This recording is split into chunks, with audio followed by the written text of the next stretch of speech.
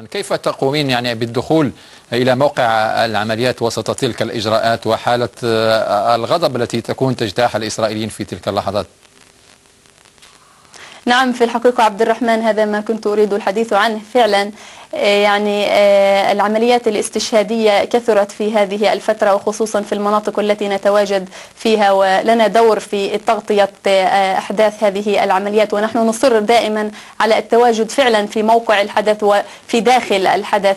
آه، خذ مثلا عملية كركور التي وقعت مؤخرا في شارع وادي عارة.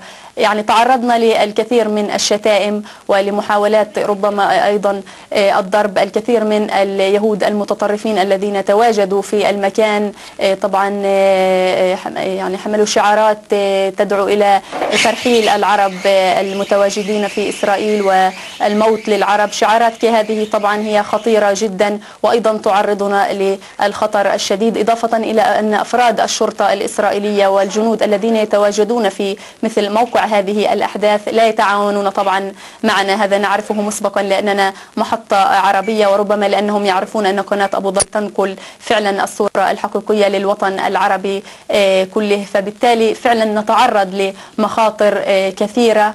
لكننا نصر على أن يعني نعمل في إطار هذا الوضع ونعرف أن مهنة الصحافة أيضا هي مهنة المخاطرات. لذلك يعني نتوقع الأسوأ دائما.